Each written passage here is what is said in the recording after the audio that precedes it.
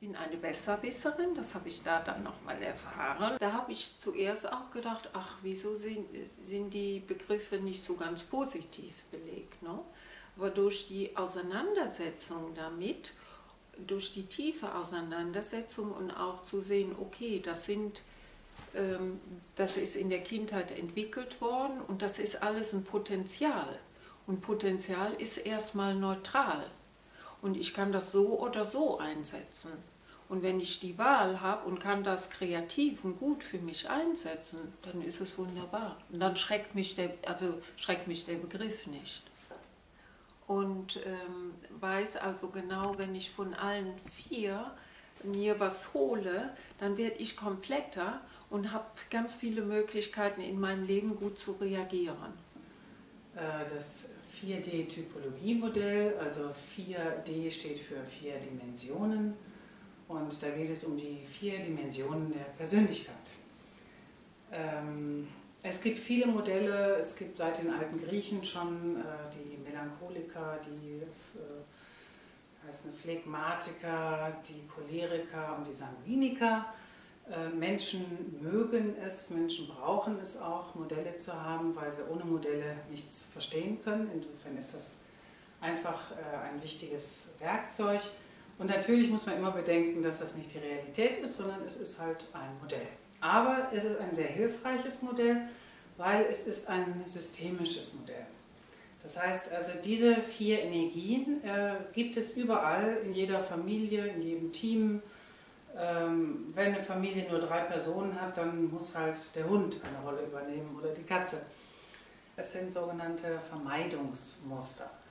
Das heißt also, die entstehen in der Kindheit, ähm, weil es ja ein systemisches Modell ist, je nachdem, wer da so in der Familie ist, bleibt ja quasi für mich nur noch eine bestimmte Rolle übrig. Das heißt also, wenn ich jetzt hier schon einen aggressiven und einen Rückzieher habe, dann werde ich mich mal mehr nach Spaß orientieren, weil ich einfach äh, nicht nur meine Pflicht erfüllen möchte. Und ähm, was eben besonders ist äh, an den äh, Energiemustern, die sind von Dr. Gundel Kutscherer in Österreich entwickelt worden. Ich habe die da in meinem Rahmen meines Studiums äh, kennengelernt und nutze sie jetzt seit vielen Jahren einfach sehr gerne in meinen Seminaren und Trainings. Ich habe auch ein Buch darüber geschrieben, ein Mauerblümchen oder Rampensau und habe mich einfach sehr eingehend damit beschäftigt und finde es einfach immer faszinierender, wie äh, sinnvoll das ist und erlebe in meinen Coachings und Trainings, wie wertvoll das für Menschen ist, äh, einfach ins Bild gesetzt zu werden. Ja, also wenn ich das jetzt mal hier so ein bisschen erläutere, dann äh, gibt es halt natürlich ausgehend von dem Thema Energie vor allem die mutigen, aggressiven Einschüchterer, weil die sind nämlich vorne. Ja? Das heißt, das sind Menschen, die wollen nach vorne gehen, äh, die schauen in die Zukunft, die machen sich auch eher Sorgen darüber, ob alles richtig ist, ob für den Winter gesorgt ist.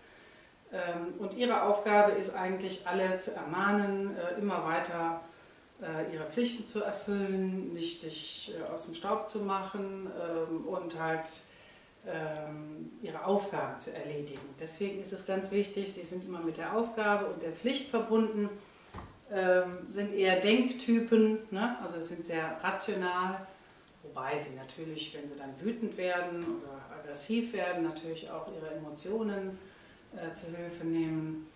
Äh, die sind aber nicht aggressiv aus sich heraus, sondern sie werden einfach sauer, wenn sie merken, äh, keiner hört ihnen zu und der Karren wird quasi an die Wand gefahren. Wie der Aggressive, der kann gut delegieren. Das ist es nämlich, ne? dass ich da lerne, okay, das mache ich, das ist wichtig, aber ich kann und darf auch delegieren. Und deswegen geht die Welt nicht unter, sondern im Gegenteil. So, wer äh, dagegenüber sind die Rückzieher, die sind quasi auf der energetisch gesehen, ne, ziehen sie sich halt zurück. Das heißt also, die möchten vor allem, dass sie sicher sind. Ja? Und die sagen sich halt, ich war das nicht, ich war da gar nicht da, ich habe damit nichts zu tun. Ähm, sie gucken auch, dass sie möglichst nicht irgendeine Verpflichtung eingehen, ähm, was dann dazu führt, dass sie halt auch in, ihrem Leben sich eher so Aufgaben aussuchen, wo sie in Sicherheit sind, also als Programmierer oder Steuerberater, wo sie äh, nicht so sehr mit Menschen zu tun haben, sondern mehr mit Dingen, die sie beherrschen und kontrollieren können. Die sind sich aber trotzdem auch der Pflicht bewusst und das verbindet die auch. Und häufig ist das auch ein gutes Gespann. Also sagen wir mal, der Chef, so der mutige, aggressive Einschüchter, der sagt, so, wir müssen hier den Markt erobern und morgen müssen wir das, das, das und das machen. Ne? Der Rückzieher dann, ja, ich habe Ihnen hier schon mal die Zahlen vorbereitet und hier ist die Liste und so weiter. Also die dann so äh, ne, das alles äh, machen im Hintergrund und gar nicht in Erscheinung treten wollen. Äh, die großen Widersacher von den aggressiven Einschüchtern sind die kleinen Kinder. Das kleine Kind ist zentriert in sich und das kleine Kind weiß zu genießen. Weil die kleinen Kinder, die sind halt energetisch da, wo sie sind. Die sagen, ich bin quasi eine Naturkatastrophe, ihr müsst mich so nehmen, wie ich bin. Ich kann mich nicht ändern. Ne? Ich bin halt, äh, äh, muss auf mich achten. Also die kleinen Kinder glauben, sie müssen vor allem äh, trotzen. Ja? Und sie müssen gegenhalten und sie müssen halt immer äh, ihre eigenen Interessen wahren.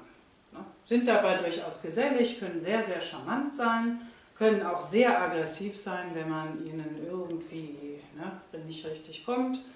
Und die sind vor allem auch ähm, in Firmen diejenigen, wo immer sich die Probleme äh, anbahnen, weil die kleinen Kinder einfach nicht mit Vernunft oder mit gutem Zureden zu erreichen sind. Also wenn 5 Uhr ist, lassen sie halt den Griffel fallen und das ist dann das Problem der anderen. Deswegen gibt es also hier immer erbitterte Kämpfe ja, zwischen den Aggressiven, die dann sagen, so geht das nicht und sie müssen jetzt hier und so weiter. Und die kleinen Kinder, die sagen, mache ich nicht, ne, müssen sich jemand anders suchen. Und dann suchen die sich natürlich Positionen, wo sie das auch können. Also entweder halt äh, als Beamte oder in äh, irgendwelchen Organisationen, so im mittleren Bereich und da sichern sie sich dann so ihre kleinen Königreiche und äh, sehen zu, dass sie da niemand irgendwie äh, wegkickt. Gerne flüchten sie sich auch in Krankheiten und gerne sind sie auch äh, mal so ein bisschen äh, manipulativ, ähm, haben sie gar kein Problem mit. Also alles, was ihnen selber dient, ist gut. Gibt natürlich jetzt ähm, nicht nur diese vier Typen, sondern es gibt natürlich auch noch andere Formen, da gehe ich gleich mal ein bisschen drauf ein. So, wir haben jetzt also den mutigen, aggressiven äh, Einschüchterer vorne, der Rückzieher hinten, kleine Kinder in die Mitte. Und jetzt muss es jemanden geben, der die alle miteinander verbindet. Und das ist der fürsorgliche Besserwisser. Also die Besserwisser, die sind quasi wie Wasser oder wie Luft, ja, die verstehen alle, die sagen, ja, richtig, die haben hier auch diese Mission mit dem aggressiven Einschüchter. Stimmt, du hast ja recht. Und die wollen immer eine Lösung finden. Die möchten immer, dass alle irgendwie glücklich sind. Die sorgen sich dafür, dass alles gerecht zugeht und sind sehr idealistisch unterwegs äh, oder auch perfektionistisch. Aber eigentlich möchten sie, und deswegen beneiden sie immer die kleinen Kinder, eigentlich möchten sie genießen und Spaß haben ähm, und möchten irgendwie sich entspannen. Das kann sie aber erst, wenn irgendwie alle glücklich sind. Also der Besserwisser, ähm, für den ist es so, ah, Wissen ist die Rettung oder die Lösung. Also das merke ich auch an mir. Aber der Besserwisser, der kriegt Atmosphären mit und der verbindet. Und ich bin so, also ich habe von, von, meiner, von meinem Familienhaus so, meine Strategie war zu verbinden. Ja, und äh, so ist es quasi, dass diese vier ähm, halt sich automatisch herstellen in dem Team. Und ähm, es ist halt jetzt wichtig zu wissen, wenn ich jetzt, ähm, sagen wir mal, Personalverantwortung äh, habe oder eben in einem Team arbeite oder als Lehrer oder Trainer oder wo auch immer, dass es eben, ich weiß, mit wem habe ich es zu tun, was bin ich selber für ein Muster, welche Konsequenzen ergeben sich daraus, auch für Familie, Partnerschaft und und. Und äh, insofern ist das ein ganz spannendes Modell dazu.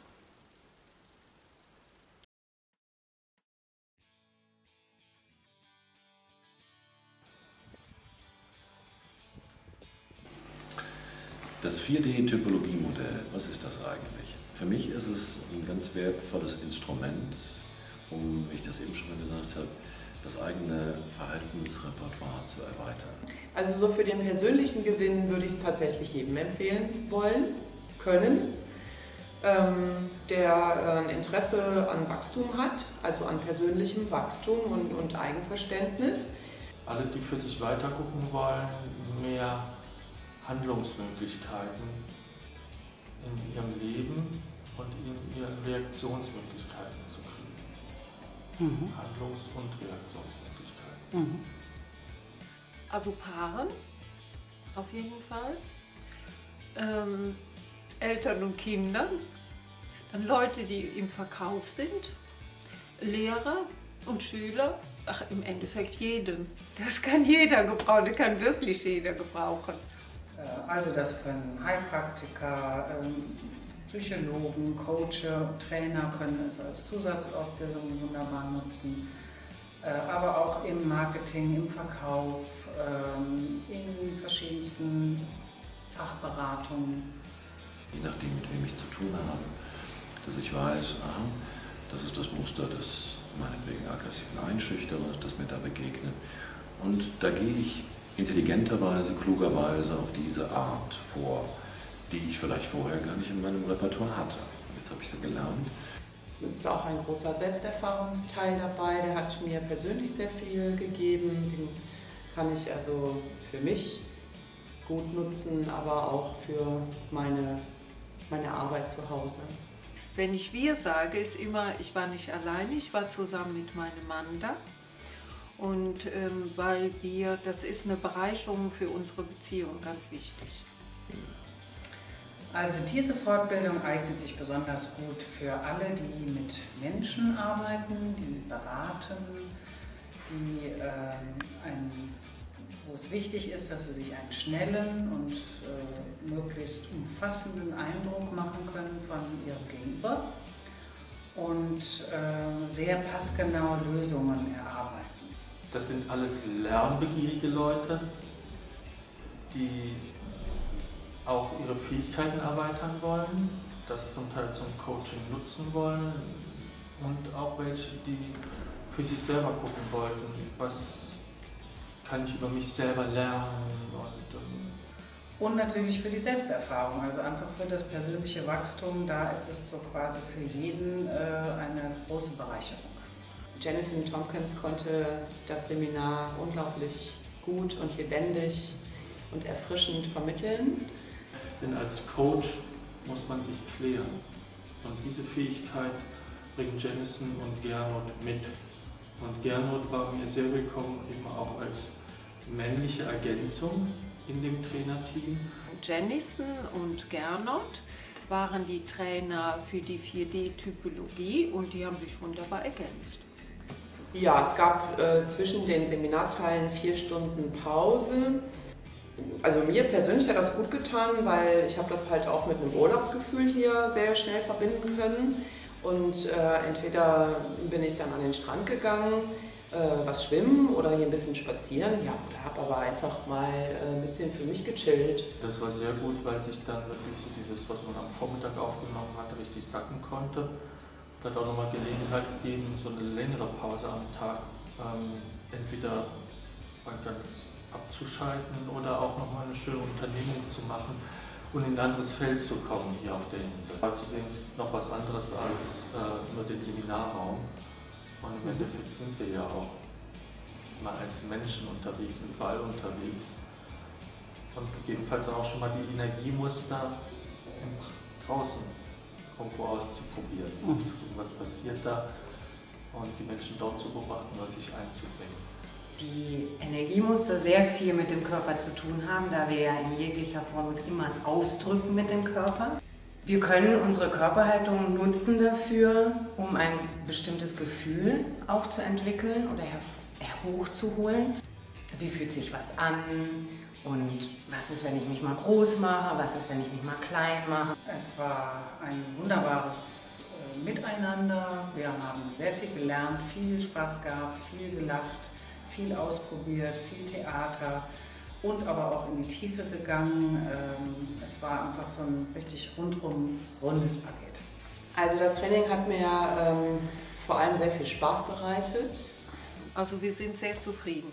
Es war sehr spannend. War unsere erste Auflage vor dieser Kulisse im Süden. Ja, also in 2016 planen wir gleich dreimal das 4D-Typologie-Seminar durchzuführen. Da bin ich auch gespannt darauf, weil das wird natürlich dann jeweils ein bisschen anders, je nach Umgebung, ähm, Wetter, äh, Gruppe, wen das äh, anspricht. Also ich bin mal gespannt, wie das sich das entwickelt.